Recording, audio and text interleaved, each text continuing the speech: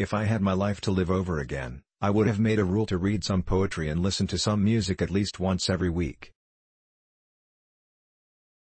A man who dares to waste one hour of time has not discovered the value of life. Ignorance more frequently begets confidence than does knowledge, it is those who know little, not those who know much, who so positively assert that this or that problem will never be solved by science. We stopped looking for monsters under our bed when we realized that they were inside us. The love for all living creatures is the most noble attribute of man. I am not apt to follow blindly the lead of other men. The highest possible stage in moral culture is when we recognize that we ought to control our thoughts.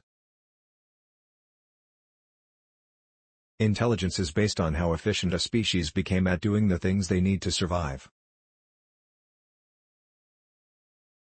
Thanks for watching.